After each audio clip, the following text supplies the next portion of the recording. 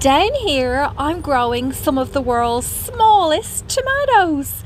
Now, while they can get a little bit bigger than this one, it's not by that much. Despite their teeny tiny appearance, these yellow currant tomatoes are packed with flavour.